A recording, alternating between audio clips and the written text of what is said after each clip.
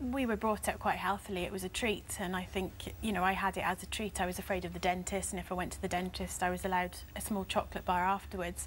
When I moved out of home and got my own house and my own income, and I was free to buy what I want, I just started buying it, and it's progressed from there. So, how many bars of chocolate are we talking about here, roughly, in, in On a a day bad- or indeed a month? A bad day, you can well, it's, it's various things: chocolate cake, chocolate biscuits. I can eat a whole bag of a, a whole packet of chocolate biscuits in one go quite easily. Chocolate bars, bags of chocolate, mid-morning, lunchtime, afternoon, evening, and on the sofa at night. And do you find yourself, it's what you're constantly thinking of, it's when the next time you can get the and bar if of it's not in the house, people say take it out of the house. If it's not in the house, I'll get in the car and go and get it.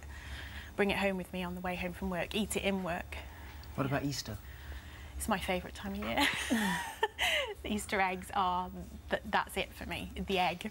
You say it's your favourite time of the year, and chocolate is one of your favourite things. So why give it up? It's beautiful, but it's no good for me. Really, no good for me. And I, I'm trying to lead a healthier life. Um, I've lost weight. I've started running and enjoy that part of my life so much. But I'm so addicted to chocolate, I can't get rid of that part of it. Do you feel guilty?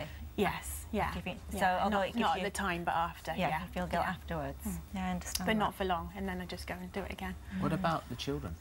Are you worried about the influence it might I am in the future. I, I give them a very good, healthy lifestyle now, what they eat, and I control it. But already my six-year-old is asking for chocolate when she sees me having it, and obviously I'm now starting to find that I'm hiding it because I don't want her saying, "Oh, mum, you're having it, so why can't I?" Mm. So it, it's not good for the future in that What sense. about cost?